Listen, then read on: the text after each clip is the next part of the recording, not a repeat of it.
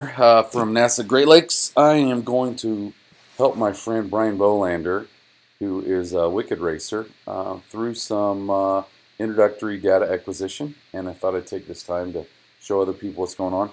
Um, get this Track Attack software. It is just fantastic for what we're doing. You can share all kind of data. I'm going to show you what that looks like later. And uh, I will be ha happy to help you analyze it, but under two conditions. Number one, you get a free account. And number two, you upload your data, which is quite easy, to be honest with you. You don't even know, don't even, uh, I don't think you even need to download the software to do it. But you need to download the software to analyze it, which looks like this right here, this uh, white rhino. So we're going to do this. I'm going to close everything up. I'm going to close everything up and kind of walk you through it here. Um, you import your data right here. Um, put in an SD card right wherever you have it. It's in an email and it's saved. And there's data right here. And this thing is all synced. So I'm going to sync it again. And basically, any of the data that I've uploaded, it is synced and it's already synced onto this website in the cloud. And as an example, there's seven laps at Autobahn, right? And Adam Roberts ran this uh, in Dan Capaldo's car. And here's his, some of his information. It's a little bit generic information, but the most part is it's there. And here's what you do with it. You go to the software, you freaking open this stuff up, and you say, give me all of Brian Bohlander's data that's on the cloud or Adam Roberts or Dan Capaldo's or Nick Owens or Travis Lee's, right? Give me all of those for Brian, and I want to upload. Remember, they're on the cloud, and they're being backed up, right? So that is a snapshot. It's not live and dynamic. So we're just changing files and storing them there, which is, you need that place. Okay, so we're going to look at uh, Brian's stuff real quick, and I'm going to give you a quick tutorial on this. These are the four sessions uh, for Brian. And I'm going to look on here. I already know he ran a 37 something change. There's no 37s right here. It may have been wet weather. May have been uh, who knows what. But we're going to get rid of this session. Because all we want to do right now is look at some zinger laps and do a big, huge compare. I just want to know, let's get rid of that one too. It's a 38. So of the four sessions so far, we've saved two. And here's a whole bunch of 37s. A 37.2, a 37.5, let's pick that. Another 37.5. And up here, it's a 37.2 and 37.4. That's enough. So what, what do we just do? We took four outings that Brian sent us from two different Mid-Ohio events. And um, we got rid of two of them because they weren't really fast, and we picked two sessions that had some amazingly fast 37. There's three, there's two tenths there. Um, these are within three tenths, and they're graphically illustrated on this right here. I'm going to shrink this down to make it look less intimidating. Um, Track Attack software, get it. It's awesome. Um, has a bunch of neat features all just really kind of fun stuff. Split times, graph. All right, so let's just look at this real quick. 30,000 foot level. Our fastest lap in this case is a 137.275, right? All these five laps. And what you're seeing right here are the speeds for those laps right? So our fast lap is represented in yellow. In this case, it's on the top at 90.8 miles an hour. And in this case up here, it's somewhere in the middle, 93.7, right? So as we drag along here, we can see how well our best lap is doing. Oh, look, terrible. It's the slowest one going into the um, keyhole, which is over here, right? Watch right here.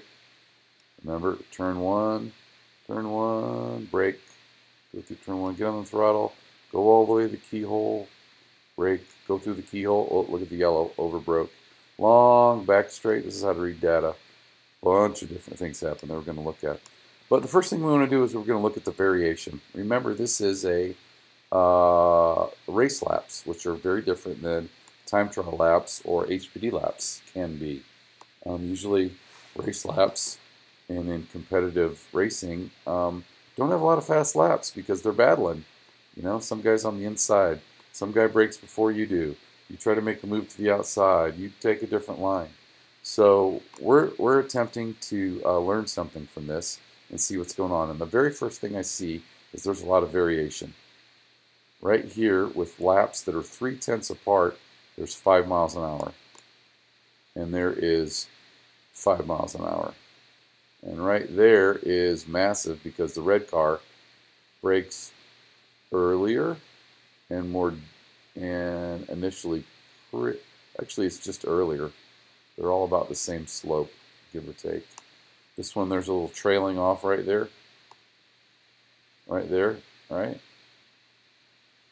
Where we got through um, turn seven quickly. But what I'm seeing is a lot of variation that I wouldn't see uh, potentially if I just showed two laps, which are right here. Yeah, we would see that and we would say, holy cow, what the heck's going on? These are his two fastest laps. And again, this is uh, more than likely race type data because this stuff doesn't happen like that. That's somebody getting in the way or you trying to make a pass.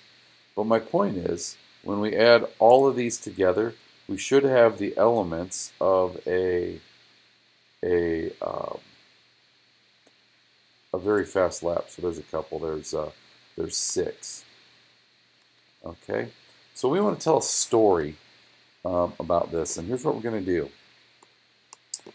We're going to use this thing right here, which is totally badass. This is Delta. This is your best friend. And when we push that, here's what we see we see that our best lap of uh, 275, this green lap, and we're going to change it, change the color of it black. Okay, so what this means is, is this is the reference lap, and every other color, green, blue, yellow, purple, magenta, are all these other colors, right? There are all these other colors. And when the, that color, the red color, is below the fastest lap line, it is said to be, in this case, 1.4, excuse me, 0.14 seconds faster. Conversely, up here, the yellow lap is, in this spot of the track, five, almost a half a second slower.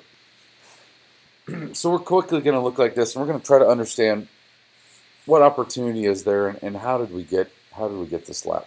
How did we? Uh, how much how much more room to go faster is there? Okay. So here's what we see. excuse me. So here's what we see, and I'll be kind of brief. I'm not going to do in-depth analysis. We see that all these lines, these other laps, are going this way, and all of a sudden they head down, and then they're straight. So everybody see that? They kind of are doing their own thing right here, but this red one really is heading down, right? And it stays down. Well, at that point on the track right there, which is going down the kink of the back straight, the red lap is actually nine tenths faster than our reference lap, which is right here. So if we could have just drove the black lap from here forward, the other half of the track, we would be one second or nine tenths of a second faster. Okay? But what happens? This red lap, who, who is now going the, the lowest lap, is the fastest lap in here. And three of them, three of five of them, are below the reference lap. Except right now it's a little above. But if we would have just followed the advice right here, we would have been to turn 13 and we'd be 9 tenths of a second faster. But something happens. All of these head up. If all of these head up, either all did terribly bad all five of them or this reference lap did relatively better. We need to find out. So we're going to confirm this. So what we're going to do is find out if uh, all four of these, five of these laps, these colored laps, did amazingly well and saved nine tenths of a second, or was it this this reference lap that did shitty? Excuse my French. So we're going to grab these right here. We're going to go up there and push that. And we're going to look at those other laps and see what goes on. There's our black lap. Oh, look. Our black lap came through turn one. It was the slowest one right there by six miles an hour. It came in and it wasn't the fastest, it was in the middle.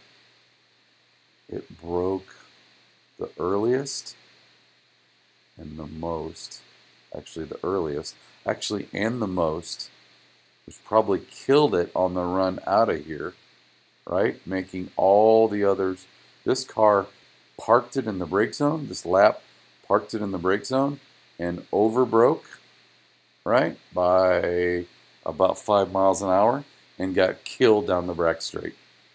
Which is why, sports fans, all these got better compared to the black reference lap. Well, what about over here? This does the exact opposite, right? Everything's kind of the same right here. There's no gains, there's no losses. Looks like there's um, some good things happen right here, and then it nets back down. So there was a, probably a, a black lap gain a little bit that was pretty nifty. But let's just look at these last parts, and then we'll call it quits on the software. So all these go up. So I'm gonna I'm gonna hypothesize that the black fast lap did something interesting from here to here, right? So let's look. Grab a little bit early. grab that segment right there. Hey, try grabbing that again. There we go. All right, third time's a charm. There we go. Hit this button. What is our friend Mr. Blacklap doing? He's coming through here and he's got a lot of speed right here. You know what he does? See how he is rocking it? He freaking rocks. He rocks the carousel. And that's how he's up there. This guy's a little faster right there, but he's also down low. The reason he made up nine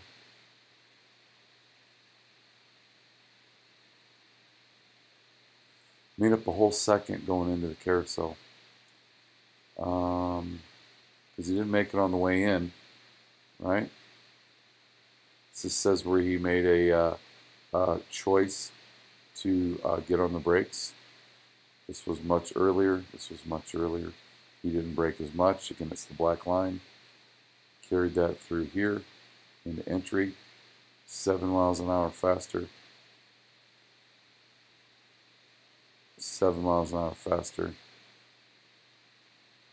Actually, actually was the slowest corner speed right there, but he was in so fast, and he gets out pretty medium. So there's actually uh, time there uh, as well. So I imagine the theoretical is uh, is quite good. So there you go. There is a uh, one second savings um, by uh, by reducing the variety. Again, most likely a race-based situation. Um, so that takes him from a 137.2 through a 136.2. Let's look at the split times. Remember, that's this 137.2, 136.2. Look at that. Theoretical, 136.1. You're one tenth away with the uh, with my uh, awesome analysis skills, or lack thereof.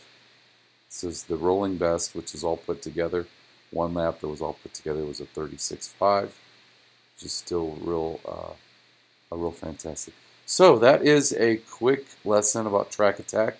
Get an account, upload your data, um, let me know, and uh, I will do one of these little uh, uh, videos for you. But uh, that's all I got. And again, I am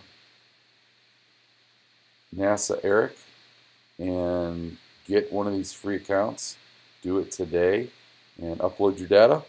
And I'll do a video and show you some things that are more entry level to, to uh, get you used to data acquisition. Thanks, and I'll talk to you soon. Don't forget to register for Autobahn. Excuse me, don't forget to register for NCM in the end of the year banquet. See you.